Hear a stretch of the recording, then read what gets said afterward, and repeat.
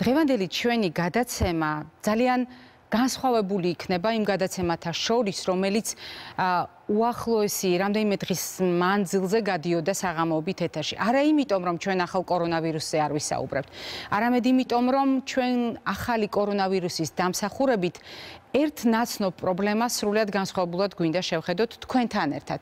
ოჯახურად ვილაპარაკოთ იმაზე, რაზეც შეიძლება ხმამაღლა აქამდე არ გისაუბრიათ, ან არც გიფიქრიათ, რომ ეს სამსჯავროზე გამოგეტანათ, მით უფრო ფართო საზოგადოების, თუმცა ვფიქრობთ, რომ ეს არის ერთ-ერთი ყველაზე აქტუალური პრობლემა, ნაღმი, რომელიც არ ვიცით როგორ ამოქმედდება ოჯახის შიგნით და რასაკვირველია ოჯახის გარეთაც.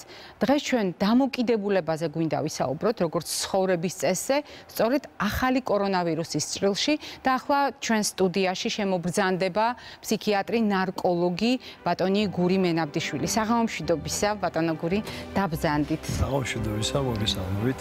აა ისეთ პერიოდში ვხვდებით ახლა ჩვენ ერთმანეთს აა თითქოს საზოგადოებას აქვს განცდა რომ ახალი კორონავირუსის გარდა სასაუბრო თემა არც კი უნდა იყოს, მაგრამ სწორედ ახალი კორონავირუსის დამსახურებით ჩვენ ამ პრობლემას აა მათ შორის დამოკიდებულება როგორც ცხოვრების წესი რასაკვირველია გაცილებით ტევადია როგორც ცნება.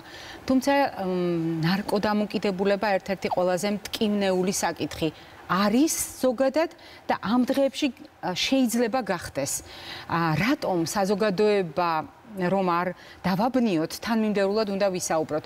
მე არასოდეს წარვადგენ სამედიცინო დაწესებულებას. მაყურებელმა იცის, ჩვენ არ ვსაუბრობთ მედიკამენტებზე, არ ვსაუბრობთ სამედიცინო დაწესების დასახელებაზე, თუმცა რატომ ამას მოგვიანებით მიმიხვდება მაყურებელი, მე უნდა ვთქვა, რომ დღეს თქვენ წარმოადგენთ ფსიქიკური ჯანმრთელობის და ნარკომანიის პრევენციის ცენტრს. ეს ძალიან მნიშვნელოვანია, იმიტომ რომ ჩვენ გადაცემის განმავლობაში დამატებით ინფორმაციას მივაწვდით ყველა იმ ადამიანს, ვისაც აქვს ეს პრობლემა, ან ოჯახებს, სადაც არის ეს პრობლემა. დავიწყოთ იქიდან, რომ იზოლაცია ეს არის უკვე განსხვავებული ცხოვრების წესი და ძალიან ბევრი ადამიანისათვის შექმნა სხვა რეალობა. ამ სიტყვას ხშირად იყენებენ, მაგრამ ერთი წუთით რომ წარმოვიდგინოთ, რა ხდება იმ დახურულ სივრცეში, სხვადასხვა თაობის ადამიანებს შორის, სადაც ბევრმა არც კი იცოდა, რომ ოჯახის წევრი იყო მანამდე ნარკოდამოკიდებული. ან შესაძლოა პირველად გაუჩნდეს ოჯახს ეჭვი, რომ ხომ არ არის ჩემი შვილი ნარკოდამოკიდებული. ან გაჩნდეს აგრესიული ქცევა, რომლის მიღმა რა ხდება არ ვიცით და ვერ ახსნათ, რატომ გაჩნდა ეს აგრესიული ქცევა, ან ოჯახი შეეცადოს, მაშინ როდესაც ინფორმირებულია, თვითონ დამოუკიდებლად გაუკლდეს ამ პრობლემას. მე რაც ჩამოვთვალე, ამის გარდა ბევრი სიტუაცია არსებობს, მაგრამ ყველა ეს სიტუაცია არის ნელი მოქმედების ნაღმი, რომელიც ოჯახის შიგნით არის და შეიძლება ძალიან უსიამოვნოდ აფეთქდეს ყველასათვის. მოდით დავიწყოთ აქედან იზოლაციის პირობები პირობებში ნარკომანია. მოგესალმებით, მოგესალმებით მაყურებელს. ბუნებრივია იზოლაცია თავისთავად არის სტრესი. დღეს თანამედროვე ცხოვრების პირობებში, შესაძაც ამის მემილიური ნაწილში ხდება ინფორმაციის მიმოცვა და აქტიური ცხოვრების წესს ვართ მიჩეული. ეს ერთ-ერთი, ასე ვთქვათ, ფსიქოლოგიური ტრავმა არის თითეული ადამიანისთვის, ვინც დღეს იმყოფება იზოლაციაში და ზოგადად თუნდაც არა იზოლაციაში, უბრალოდ ჩებოჭი მდგომარეობაში. ვერიდებით ერთმანეთთან ურთიერთობას, რაც აუცილებელია ჩვენი და ჩვენი ახლობლების და ზოგადად ქვეყნის ჯანმრთელობისთვის. აქვს მას თავისი უარყოფითი და დადებითი თვისებები ჩვენი პროფესიული თვალსაზრისითაც. მე მინდა უფრო ოპტიმისტურად შევხედო, იმედი მაქვს, რომ ოჯახის წევრები უფრო კარგად გაიცნობენ ერთმანეთს და გარდა ამისა ერთად გაუმკლავდებიან გარკვეულ პრობლემებს, რომელიც ამ დრომდე იყო მათთვის ტაბუდადებული. ანუ სტიგმატიზირება არის ყველაზე მთავარი პრობლემა. ამ ჩვენ შემთხვევაში ვსაუბრობთ ნარკომანიაზე, ნარკომანიის სტიგმატიზირება იმდენად პრობლემატური არის, რომ თვითონ მომხმარებელი ცდილობს მისთვის საყვარელ ოჯახის წევრებს, მეუღლეს, შვილებს, დედ, შობლებს, დედმამიშვილებს ეს პრობლემა არ გაუმჟღავნოს. არ გაუმჟღავნოს, იმიტომ რომ ხშირ შემთხვევაში უფრთხილდება მათ ემოციურ ფონს. მაგრამ, როდესაც სიტუაცია იცვლება და ისინი ხვდებიან უკვე ჩაკეტილ ისინი ხვდებიან ჩაკეტილ სივრცეში, იზოლაციაში, საერთო სივრცეში უკვე დამოკიდებულ პირს მეტი გამოსავალი არ აქვს. მისი ჯანმრთელობის მდგომარეობა, ის სიმპტომები არ ითმენს და ბუნებრივია რაღაც პროცესში ეს აუცილებლად შესამჩნევი გახდება. თუმცა კიდევ ერთხელ ხაზს რომ იმდენჯერ იმდენად დარწმუნებული არიან ოჯახის წევრები ხშირად თავიანთი ოჯახის წევრზე რომ ყველა შესაძლო დაავადებები იფიქრონ გარდა იმისა რომ ეს ადამიანი არის დამოკიდებული პიროვნება. ანუ მათ შეიძლება ივარაუდონ რომ ეს სიმპტომები გაჩნდა იმიტომ რომ რაღაც დაავადება აქვს ადამიანს და ერთი წუთითაც არ დაუშვებენ აზრს რომ ეს სიმპტომები დაკავშირებულია ნარკოდამოკიდებულებასთან. თუმცა ყველაზე ყველა შემთხვევაში ეხლა ნამდვილად არ არის იმის დრო რომ აღმზრდელობითი საკითხებზე დაიწყოთ მუშაობა და თუნდაც ოჯახის წევრებმა თავიანთი ოჯახის წევრის მიმართ ეხლა არის აუცილებლად დახმარების დრო ისედაც სტრესულ გარემოში აბსტინენცია ანუ ეგრეთ წოდებული ლონკა კიდევ უფრო ერთ-ერთი სტრესული ფაქტორი არის ადამიანის ორგანიზმისთვის მისი ტვინის ფუნქციისთვის ამიტომ ჩვენ მოუფრთხილდეთ და პირველ რიგში ურჩევ ყველა ოჯახის წევრებს ყველა მათხელთ არსებული შესაძლო ზომები მიიღონ არა რაღაც აღმზრდელობითი საკითხები და დატოქსის მექანიზმზე გადავიდნენ, ამით საქმეს ეხა ვერ უშველიან. პირიქით არსებობს აქედან გამოსავალი, თავარია მონდომება და გვერდით დგომა. ეს ყველაზე მნიშვნელოვანი არის. რა შეეხება რა შეიძლება პროცესულად როგორ შეიძლება განვითარდეს ჯანმრთელობის მდგომარეობა? დიახ, ეს საინტერესო კითხვა, რომ როგორ შეიძლება აი ოჯახურ სიტუაციაში ეს გამოვლინდეს მაგალითად? ცუდი წარმოსადგენია, როდესაც ადამიანი ყველაზე კარგი შემთხვევა არის, როდესაც ადამიანი არის უხასიათოდ. დაუშვათ, მე ძალიან არ მინდა უგუნებობა, ძალიან არ მინდა სამედიცინო ტერმინებთვის ვიუბრო, მინდა იყოს გასაგები ყველა მაყურებლისთვის. უგუნებობა, უფლიანობა, უხასიათობა ერთ-ერთი რაც ვთქვით, მოუსვენრობა. თავიდან პირიქით ჩაკეტილობა შეიძლება წამოვიდეს მადის დაქვეითება, ნეტკივილი სახსრებში, ტკივილი კუნთებში, უფლიანობა და ასე შემდეგ. აშკარად დამაბნეველი ნიშნებია ნამდვილად. ბევრმა მათგანმა ოჯახის წევრმა შეიძლება დააკავშიროს არსებულ ვირუსს, რომელშიც ჩვენ გვაქვს დღესდღეობით აქვთ უფრო სწორად და არ იფიქრონ რომ ჭიდება მათ ახვალება. მე ვფიქრობ რომ ნამდვილად არის გაჭირვების დროს, იმ დროს, ოდესაც შველა არის საჭირო, აუცილებელი არის ურთიერთობა და მეტი კომუნიკაცია და თავდაჯერებულობა ერთმანეთის ურთიერთობაში. არ უნდა დაანგრიოს ამან ურთიერთობები. მივიღოთ ეს ისე როგორც არის და პირიქით მოვზემნოთ გზები პრობლემის გადაჭრის ნაცვლად იმისა კიდევ გაუმწვავოთ მას თავისი პროცესი რომელიც შესაძლებელია მისმა ფსიქიკამ ლაბელურმა ფსიქიკამ კიდევ უფრო რთული და გამოუსწორებელი გადაწყვეტილება მიიღოს ისე არაერთი გზის მაგალითიც არსებობს სოფლიოში აი მე უნდა დაგისვათ სწორედ ამ ტიპის კითხვა ერთი მხრივ შეცვლილი ქცევა ოჯახის პირობებში ჩაკეტილ სივრცეში სადაც ადამიანს ეს სიმპტომები აქვს და ოჯახის წევრებისთვის დამაბნეველია. მეორე მხრივ მას შეიძლება გაუჩნდეს აგრესია. ზუსტად იმიტომ რომ აქვს აბსტინენცია, ანუ ეგრეთ წოდებული ლომკა. და არის მესამე ძალიან მნიშვნელოვანი სოციალური იზოლაციაზე ვლაპარაკობთ. ვამბობთ რომ ეს ინსტრუმენტი ამ დროს ამ ადამიანს აქვს დაუოკებელი სტრაფვა, რომ ეს იზოლაცია დაარღვიოს, დატოვოს ეს სივრცე და მოიპოვოს ის საშუალება, რომელიც ამ ლომკას მოუხსნის. აი ეს არის ძალიან სახიფათო მდგომარეობა. მეორე მხრივ, მე რამდენიმე კითხვა უნდა მოვასწრო და დავსვა ერთდროულად. მეორე მხრივ, ადამიანები, რომლებიც ისედაც ჩართულები არიან კონკრეტულ პროგრამაში, რომელთა გარკვეული დოზით უზრუნველყოფაზე გეგმაზომიერად მიდის ზრუნვა და ეს გათვალისწინებულია. აი აქ როგორ არის საქმე ტექნიკურად ეს როგორ ხორციელდება? კი ბატონო, მოგახსენეთ, ბუნებრივია იზოლაცია არა მხოლოდ რაიმე დამოკიდებულ პირობებში. ჩვენ რაღაც რაღაც ეტაპებზე ყველგან დამოკიდებულ ადამიანებს ხვდებით, მათ შორის ჩვენც დამოკიდებულ ადამიანებს შეიძლება ვთქვათ, დავუშვათ ჩვენი სამსახური, ჩვენი ყოფითი, ჩვენი პროფესიული საქმიანობა, რაც დამერწმუნეთ ნებისმიერ შემთხვევაში რომ აგვიგრძალონ ახლა ეს უფლება არ იმოქმედებს მინდა გითხრა ჯანსაღად არ იმოქმედებს ასე რომ აქ არის კიდევ ორი სხვადასხვა ფაქტორი. თუ ადამიანები განიცდიან ერთმანეთის უნახაობას და არა თავისუფლებას კიდევ მეორე მნიშვნელოვანი ფაქტორი დამოკიდებულ ადამიანს აქვს იმის რომ კედლის şirket კარს მიღმა შესაძლებელია მოიპოვოს ის საშუალება, რაც მის ფიზიკურ მდგომარეობას გააუმჯობესებს. ეს კიდევ უფრო ამზაფრებს იზოლაციის კიდევ უფრო ამზაფრებს იზოლაციის თავშეუკავებლობას. ეხლა ბუნებრივია ამ პერიოდში და უფრო უფრო ადვილად დაარღვევს შემდეგ ეპიზოდში. აუცილებლად გამოჩნდება, აუცილებლად იქნება გამოჩნდება ის შემთხვევები, როდესაც მან იძულებით კარგად ესმის, ძალიან მინდა სწორად გაიგოს საზოგადოება. ის ის ადამიანები, ვინც შეეცადნენ ყოველ შემთხვევაში მსგავსი დამოკიდებულების ადამიანები რომ გადაელახათ ეს იზოლაციის არ ნიშნავს იმას რომ მათ არ უყვართ თავიანთი ოჯახი, ქვეყანა და შვილები და ოჯახი. მაგრამ უბრალოდ ძალიან სუდათ არის ყველა მინდა კარგად გაიგოს. აი ზუსტად ამ პრობლემებს ჩვენ ცოტა ხნით დავასწარეთ კიდევათაც შეიძლება ითქვას ჩვენმა ცენტრმა შესაბამის სამსახურებთან ერთად, ჯანდაცვის სამინისტროსთან ერთად, ბუნებრივია კოორდინირებული შინაგან საქმეთა სამინისტროსთან და ასევე ბუნებრივია ბევრი ხელშეწყობა სახელმწიფო უსაფრთხოების სამსახურთან ერთად ჩვენ შევძელით ზუსტად იმ კარანტინებში იმ ადამიანებისთვის მიგვეწოდებინა ჩამანაცვლებელი პრეპარატი, რომლებიც დამოკიდებული პირები არიან. ეს არ მოხდა რა უბრალოდ ვიზუალური გასაუბრებით, ჩვენი ექიმები, მათ შორის მეც და ჩემი რამოდენი ჩვენ დაწესებულების რამოდენი ექიმი, იმიტომ რომ თქვენ მოგეხსენებათ საკარანტინო დაწესებულებები არის ქუთაისი, ბათუმი, წყალტუბო, კახეთის რეგიონი, ყველგან გვაქვს ჩვენ ცენტრს შესაბამისი განყოფილებები და მოვინახულეთ პაციენტები, შევთანხმდით, ბევრი მათგანი უცხოეთში იყვნენ ჩართულები, ბევრი მათგანი უბრალოდ წასულები იყვნენ ჩვენი ბენეფიციარები და წასულები და მოუწიათ სასწრაფოდ დატოვება და უსწრაფესად მოახერხეთ ამ ადამიანებისთვის დახმარების აღმოჩენა. გარდა ამისა მოგესალმებით ძალიან სწრაფად მოხდა მოგესალმებით საქართველოს ორი უდიდესი რეგიონის მარნეულის და რაიონის მარნეულის და ბოლნისის დაკეტვა.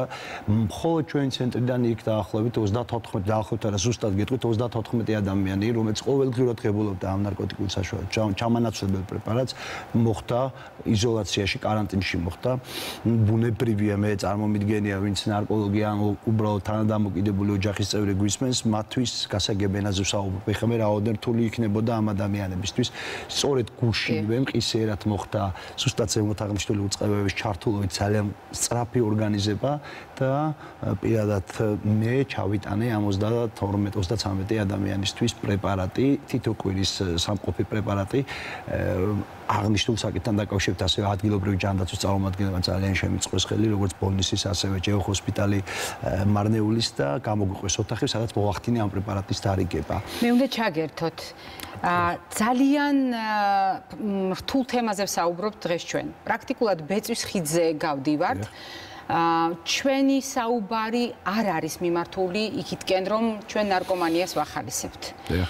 ჩვენი საუბარი არც პრობლემის გამწვავებისკენ არის მიმართული. ჩვენი საუბარი მიმართულია იქითკენ, რომ სიმართლე შევხედოთ თვალებში. თუ ჩვენ გვინდა რაიმე პრობლემას გავუმკლავდეთ, ჯერ ეს პრობლემა უნდა ვაღიაროთ. და იმისათვის, რომ პრობლემა დავძლიოთ, ამისათვის უნდა გადავდგათ თანმიმდევრული ნაბიჯები. დღეს ვართ რეალობაში, სადაც ადამიანები არიან იზოლაციაში.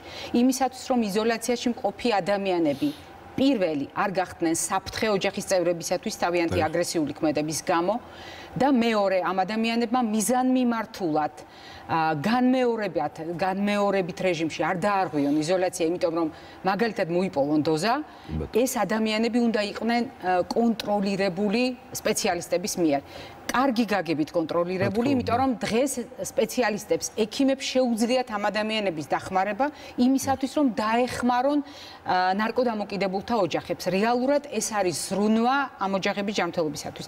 ჩვენ ახლა ჩაგორთვება ქალბატონი მარინა ენდელაძე, ინფექციური დაავადებების შიცისა და კლინიკური იმუნოლოგიის ცენტრის ბოქსირებული განყოფილების ხელმძღვანელი. ქალბატონ მარინა, საღამო მშვიდობისა.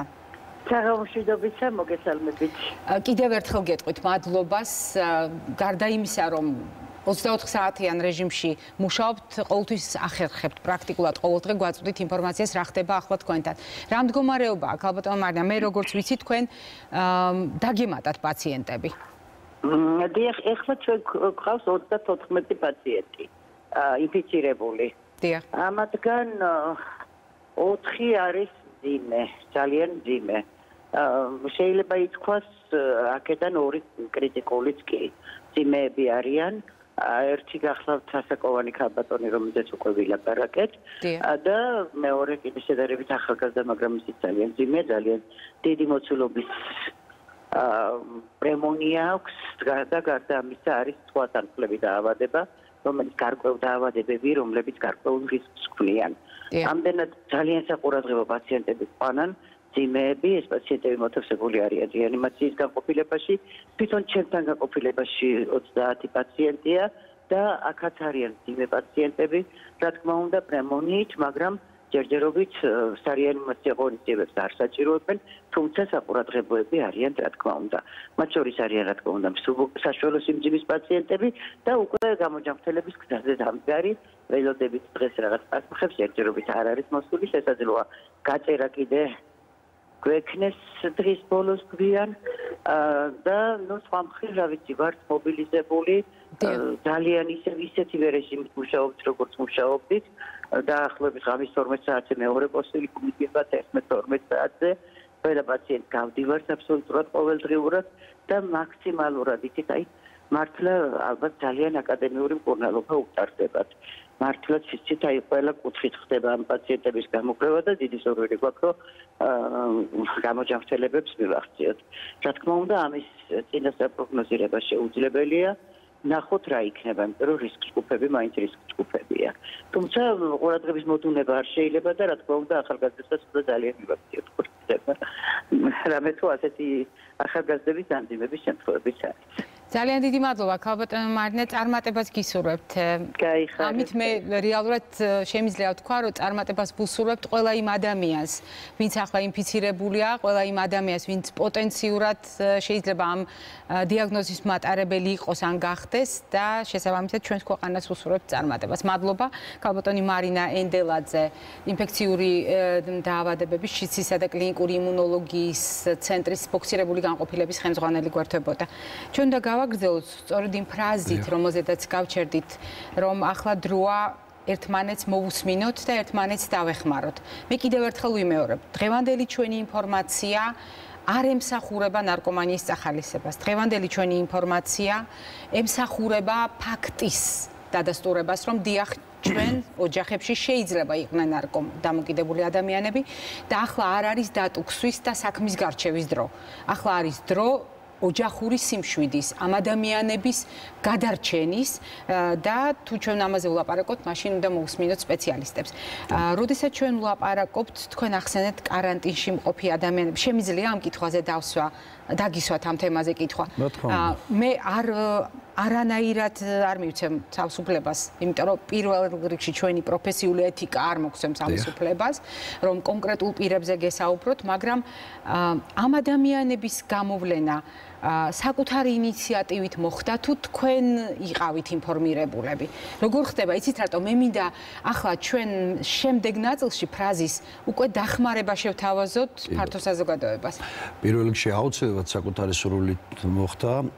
არც ერთ შემთხვევაში არ გქონდა წინასწარი ინფორმაცია და ვერ გვექნებოდა, ესეც გასაგებია. მე უბრალოდ ეხა მინდა რომ ჩვენ ცენტრის ასევე ცხელი ხაზი გამოაცხადო 230 10 53. კიდევ ერთხელ გავიმეოროთ. 230 10-10-53, სადაც მე ვიცი რომ ისინი ისეთ პირობებში არიან, სადაც კი ვიყავი საკარანტინე სივრცეში, ისეთ პირობებში არიან, აქ სატელეკომუნიკაციო საშუალებები ყველა, სამთო შესაძლებელია ბევრი მათგანი დღეს უყურებენ ჩვენს პირდაპირ ეთერში. ანონიმურად დაუკავშირდნენ ამ ცენტრს. ანონიმური არის ყველაფერი აბსოლუტურად დაცვით, მათ პირადად შეუძლიათ დაუკავშირდნენ ცხელხაზე, გვითხრან სად იმყოფებიან, როგორ არიან და დანარჩენს ჩვენი ცენტრი ჩვენ თვითონ გავარკვევთ, აუცილებლად ესტუმრებით აუცილებლად მოხსნით პრობლემას. ეს ერთი საკითხი. გარდა ამისა, მინდა მნიშვნელოვანი არის ასევე ანალოგიური ცხელი ხაზით ისარგებლონ ოჯახის წევრებმაც და ასევე ჩვენ გვაქვს ონლაინ ფსიქოლოგის, ნარკოლოგის კონსულტაცია და ფსიქიატრის კონსულტაცია. ეს არის Addiction G, რომელთაც შეუძლია ისარგებლონ და გარდა ამისა ხას გავსვამ კიდევ ერთ საკითხს, რომ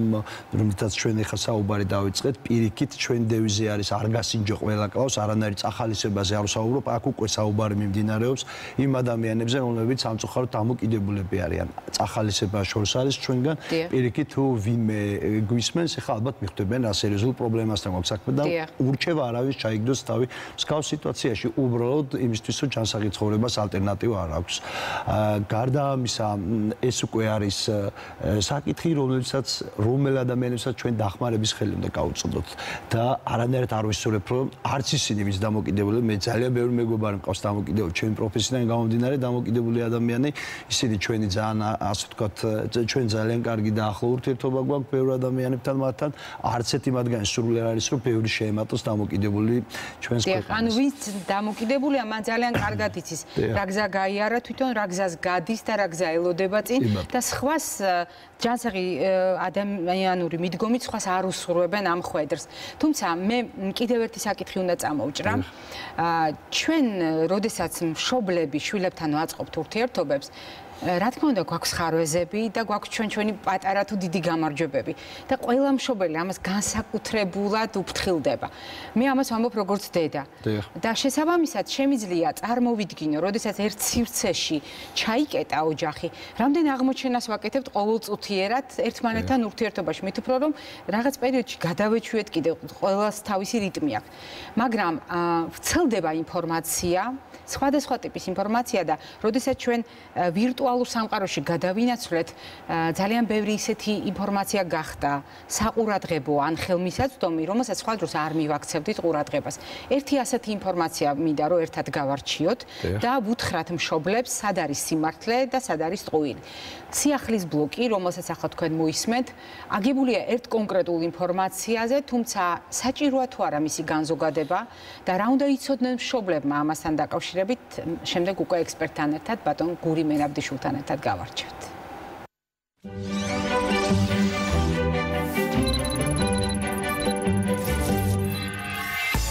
რა არის კანაბინოიდური ჰიპერემიის სინდრომი? ნიუ-იორკის უნივერსიტეტის სასწრაფო სამედიცინო დახმარების ცენტრის სპეციალისტები მოსახლეობას სიფრთხილისკენ მოუწოდებენ.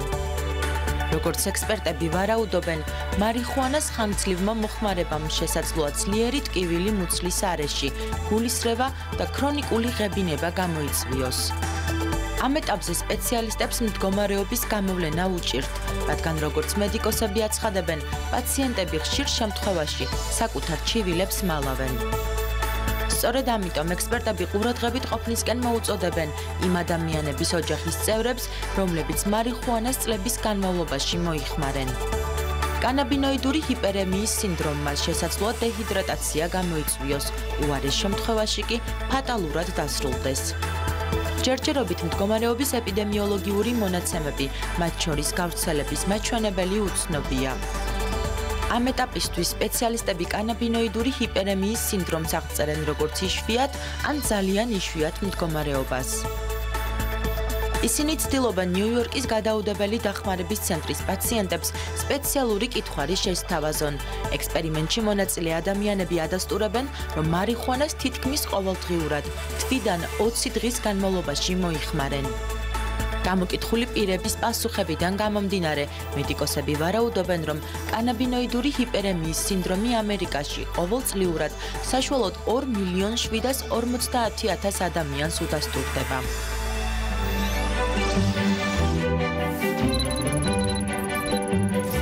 სინდრომი, რომელიც შესახებაც ასე სამედიცინო ტერმინებით ჟღერს ინფორმაცია, ბევრი მშობლისათვის ამერიკელმა ექიმებმა თარგმნეს როგორც მდგომარეობა, მაგალითად, ბავშვი შევიდა, მუზარდი შევიდა აბაზანაში, ცხელი შხაპის შემდეგ აქვს გულისრევის შეგრძნება, ღებინება და მუცლის არეში ტკივილი.